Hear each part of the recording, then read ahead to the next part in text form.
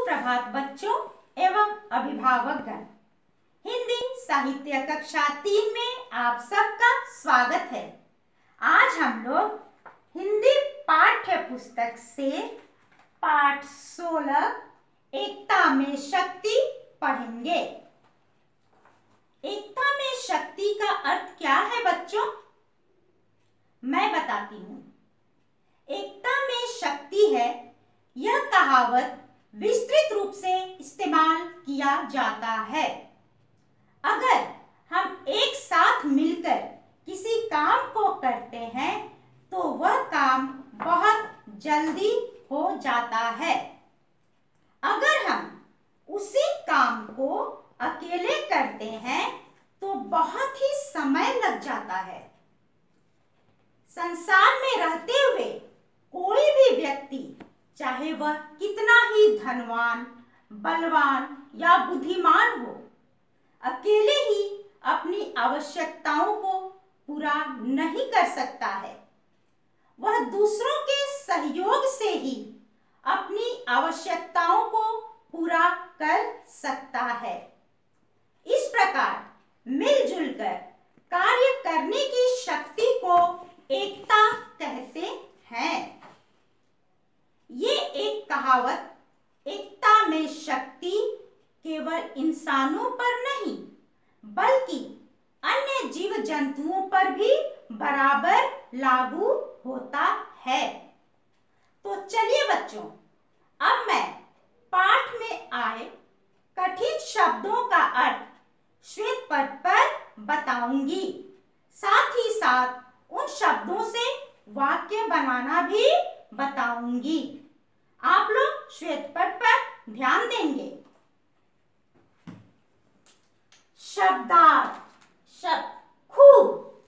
खूब का अर्थ होता है बहुत। हम लोग खूब से वाक्य बनाएँगे।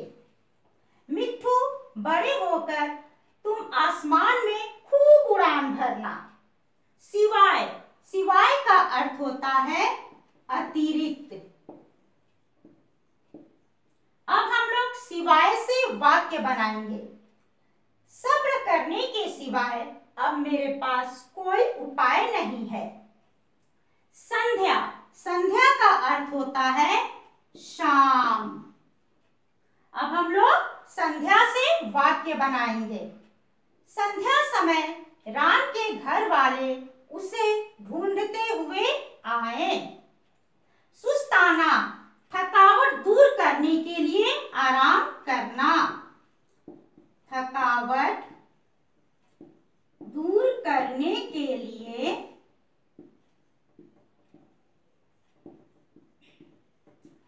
आराम करना। सुस्ताना से वाक्य बनाएँगे। हमें काम करने के बाद सुस्ताना चाहिए। क्षमा। क्षमा का अर्थ होता है माफ़ी। क्षमा से वाक्य बनाएँगे। मिठू तोते ने अपने माता पिता से क्षमा मांगी। बाघ। बाघ का अर्थ होता है बगीचा। बाग में बहुत सारे फूल खिले हैं। अब ध्यान देंगे बच्चों, इस चित्र को देख रहे हैं आप लोग। इस चित्र में एक पेड़ है, पेड़ पर घोसला है। यहाँ कुछ तोते हैं कुछ पक्षी भी हैं और एक सांप भी है अब हम लोग पाठ को समझेंगे आप लोग भी अपनी पुस्तक को निकाल लेंगे एक बाग में बाग का अर्थ होता है बगीचा। एक आम का पेड़ था। उस पेड़ पर बहुत सारे तोते रहते थे। उनमें एक नन्हा सा तोता, जिसका नाम मिठू था, अपने माता पिता के साथ रहता था। उसे उड़ने का बहुत शौक था। वह भी खुले आसमान में विचरण करना चाहता था। वह अपने घोंसले से निकलकर उड़ने ही वाला था कि पड़ोस में रहने वाली चिंकी चाची ने उसे उड़ने से मना किया। लेकिन चिंकी चाची का मना करना मिट्टू को अच्छा नहीं लगा। चुनमुन चिड़िया ने उसे समझाया मिट्टू बड़ों की बात माननी चाहिए। अभी तुम तो बहुत ही छोटे हो। जब बड़े हो जाओगे, तब तुम उड़ना। मिट्टू उन दोनों की बात सुनकर गुस्सा होकर अपने घोंसले में चला गया। शाम के समय उसने गुस्से से कहा कि मुझे अब इस पेड़ पर नहीं रहना है। हमें ऐसे पेड़ पर रहना है जहाँ किसी का घोंसला न हो। यहाँ के पक्षी बहुत ही बुरे हैं। सभी मुझे डांटते हैं। उसके माता पिता ने मिट्टू को समझाते हुए कहा, ऐसा नहीं सोचते मिट्टू। मिलजुल कर रहने में ही हमारी ताकत है। वे सब तुमसे प्यार करते हैं। जानते हो बच्चों, उसके बाद क्या हुआ? एक दिन मौका देखकर मिट्टू घोंसले से निकलकर उड़ने की कोशिश करने लगा। लेकिन थोड़ी दूर उड़कर बार बार वह गिर जाता था। वह थक कर एक डाल पर सुस्ताने लगा।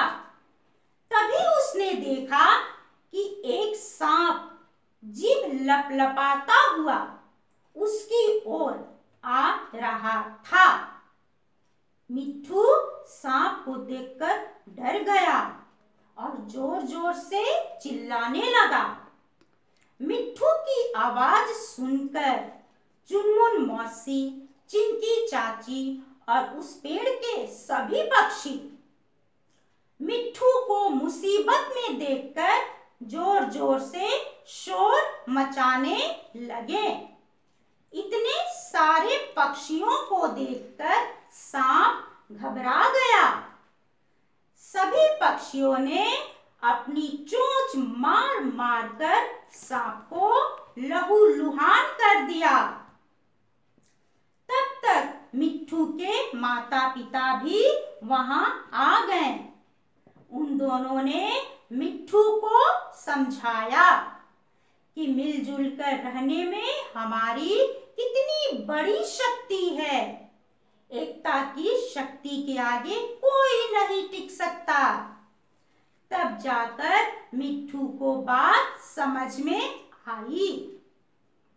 मिट्टू ने अपने माता पिता से क्षमा मांगी। बच्चों, इस कहानी समझ में आई? इस पाठ से हमें क्या शिक्षा मिलती है बच्चों? इस पाठ से हमें यह शिक्षा मिलती है कि एकता में बहुत शक्ति है। इसलिए हमें आपस में मिलजुल कर रहना चाहिए। आया बच्चों समझ में? आप लोग पाठ को अच्छी तरह बार बार पढ़ते हुए शब्दार्थ तथा प्रश्नोत्तर को याद करेंगे।